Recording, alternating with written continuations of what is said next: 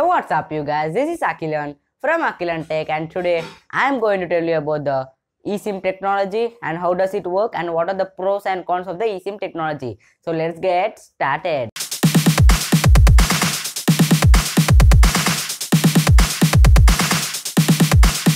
First of all, we can see this eSIM in the Pixel 2 and Pixel 2 XL and also in the Samsung Galaxy Gear S3 watch and also in the Apple Watch Series 3 watches. And the eSIM technology is the future technology. First, I will tell you what is SIM. SIM means subscribers identity module and in this sim we'll have the IMSI code IMSI means international mobile subscribers identity it is a unique identity means we cannot see the same identity in different phones and in this sim we'll, we'll also have the IMEI code IMEI means international mobile equipment identity. If you want to know the IMEI code of your phone in your dialer type star hashtag 06 hashtag. You can see this number on the screen. That is star hashtag 06 hashtag. By typing this code in your dialer you can see the IMEI code of your sim in your mobile. This is meant by sim. If you go to the eSIM e means embedded or electronic. Some persons will call it as embedded and some people will call it as electronic. Both are same. Don't be confused. Both are same. Electronic sim or embedded sim. We cannot see this eSIM in our mobile. We can see the physical sim in our mobile. If we want to insert or remove the sim in our mobile we can see the sim but we cannot see the eSIM in our mobile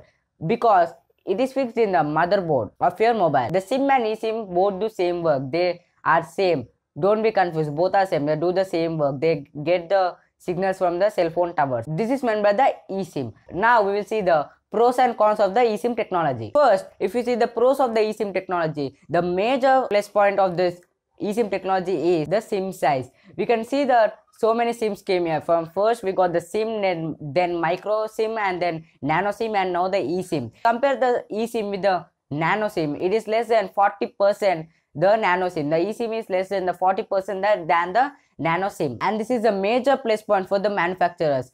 As the eSIM is very small the manufacturers can use this extra space. As the eSIM is small we can see the extra space. The manufacturers of the companies use this extra space for improving the ba- battery capacity or adding the 3.5 mm jack or in different or for the different reasons. We can see this eSIM in the watches also. Actually the watch is small. If we add the physical sim into the watch the space will be wasted. So in the watches they will use the eSIM technology. And the next plus point of this eSIM technology is that no need of SIM ejector tool. Uh, we can see this SIM ejector tool in our boxes, in the phone boxes. As it is very small, you can see it is very small. We may lose it anyway, so we cannot remove the SIM again. Again, we have to buy it. So it's a waste of time. With the help of eSIM technology, we doesn't need the SIM ejector tool. And the third place point of this eSIM technology is when somebody stolen our phone or if, if our phone is lost and somebody have caught the phone, first they will try to remove the sim. We cannot remove the esim. As it is fixed in the motherboard we cannot open the phone and see the motherboard and remove the small esim. So we cannot remove the sim in, in this esim technology. And we can track the phone signals. But if the people who have caught this phone is very intelligent you will try to switch off the phone. Or if you keep it the airplane mode then we cannot track the phone signals. And the next plus point of this eSIM technology is if you go to another country from India or uh, if you from another region, we have to change the SIM in another country. So the same sims same SIMs will not work in another country. So we have to change the SIM. But with the help of this eSIM, no need of changing the SIM. Only we have to change the network of the SIM. And for buying the new SIM, we have to go to the office. But no need to go to the office or the manufacturer's office or the company's office for this eSIM technology. We have to only install the app. If we see if if we want the Airtel or Jio, the My Airtel app, My Jio app, or the different companies, different providers, we have to install the app and directly from the app we can activate and get the plans and we can use the SIM. And we cannot see the eSIM technology in all phones. The network provider has to enable the eSIM technology for the providers. For example, in India, we are having only the Jio and Airtel service providers have been enabled the eSIM support. The another providers like Vodafone, Idea, etc. have still not been enabled the eSIM support. So the, we cannot use this Idea, Vodafone, etc. service providers.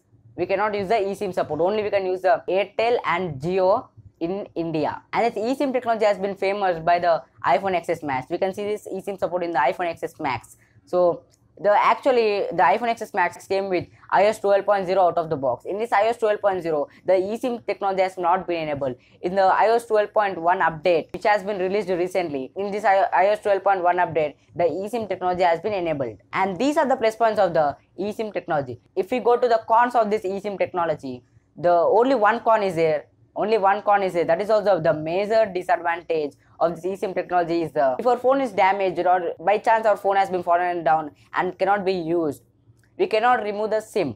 Now presently, if our phone has been damaged, we can remove the SIM and use it in another phone and we can use the phone. But with the help of the eSIM technology, we cannot use the SIM. At least as the SIM is fixed in the motherboard when our phone is damaged the phone is gone and the sim the phone numbers which are stored in the sim has been gone we have to again refeed it and it will be a very long process so the, this is a disadvantage of the eSIM technology. We cannot remove the SIM and we cannot use, use it in another phone. So by this video, I think you have got the idea about the eSIM technology. So if you find this video is informative, don't forget to drop us a like down below and don't forget to subscribe my channel. This is Akhilan signing off. I'll see you in my next video. Thanks for watching. Peace.